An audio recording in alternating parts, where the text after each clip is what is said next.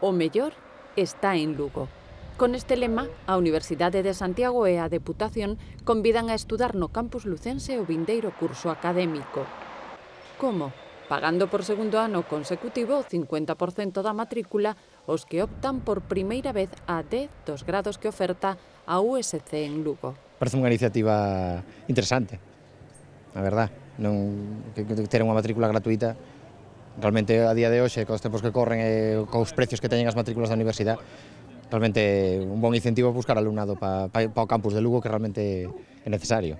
E para recompensar o esforzo, este curso a institución provincial costea a matrícula íntegra os 135 mellores expedientes de BAC, formación profesional e grao eh, captar o talento que existe, que reside neses magníficos expedientes de moitos lucenses eh, eh, no bacharelato, na formación profesional e que pretenden acceder aos estudios universitarios, pero ademais, como saben, o premio a aqueles eh, vos expedientes de, da propia universidade que van a facer o máster eh, en algunha das titulacións e eh, de algúns dos másters que ten a, a Universidade de Lugo que no te tengas que marchar, porque a veces ni siquiera en España puedes. Entonces, si de esta manera ya te hacen una ayuda, incluso dentro de tu propia comunidad, dentro de tu propia, cerca de tu casa, es una ayuda realmente genial.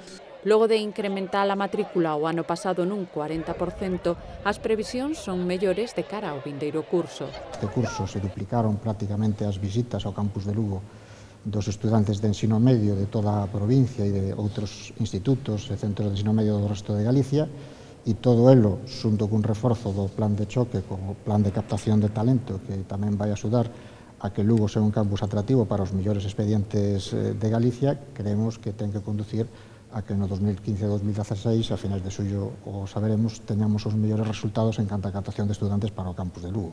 Superada a selectividade que remataba este venres, os alumnos teñendo un o 3 de xullo para facer a preinscripción e do 15 ata finais de mes para matricularse.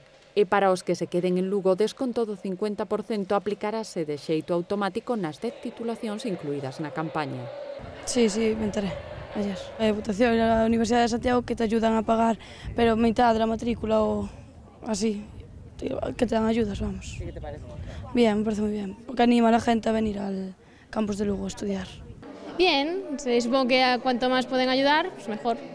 A páxina web para estudar Lugo está a recibir miles de visitas de persoas de toda España e do estranxeiro co fin de recabar datos do programa de promoción de Lugo como cidade universitaria.